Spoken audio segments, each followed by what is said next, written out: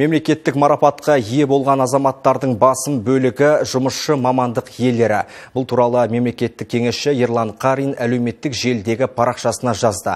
Награда алғандардың арасында шахтерлер, көлік қызметкерлері мен басқа да өндіріс саласының мамандары көп. Әсіресе жұмыс өтілі 100 жылдан асып кеткен еңбек династия өкілдеріне айрықша мән берілген.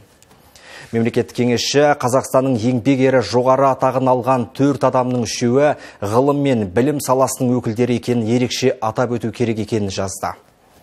Мұның бәрі ғылым мен білімді дамытуға ғалымдар мен ұстаздардың мәртебесін көтеруге қатысты нақты іс-шараларды жоспарлы түрде жүргізіп жатқан президент саясатының бірізділігін көрсетеді дейді.